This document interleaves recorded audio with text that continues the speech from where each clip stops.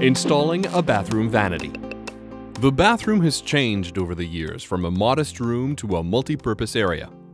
Installing a bathroom vanity allows more storage in a limited space.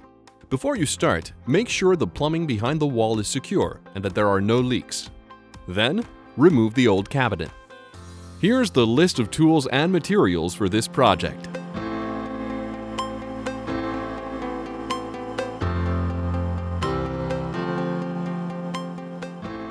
Turn off the water supply.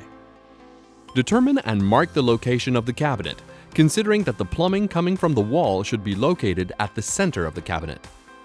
Then, remove the doors to allow you more room to work. If there's an electrical outlet or an electrical switch near the vanity, turn off the electrical supply.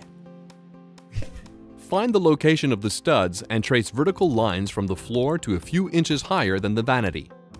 To run the plumbing through the cabinet, you might need to do cutouts in the back panel. This should be done before installing the cabinet. Measure the exact location of the pipes, mark the size of the openings, and make the cutouts with a jigsaw or a hole saw. Move the cabinet in place and make sure that it's plumb and level. If it's not level, shim the cabinet along the stud marks on the wall and on the floor.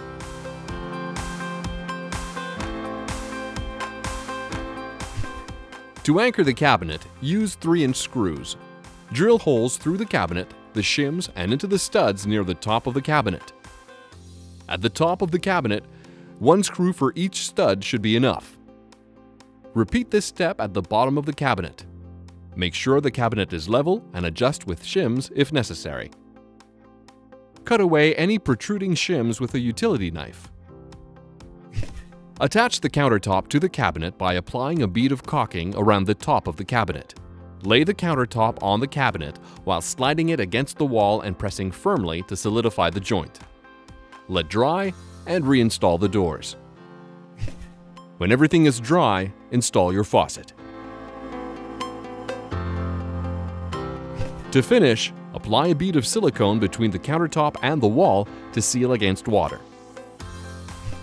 Finally, reconnect the pipes and the P-trap and connect the pipes to the valves. Tighten the nuts with a wrench, then open the water to verify the water tightness of all connections. Tighten again if necessary.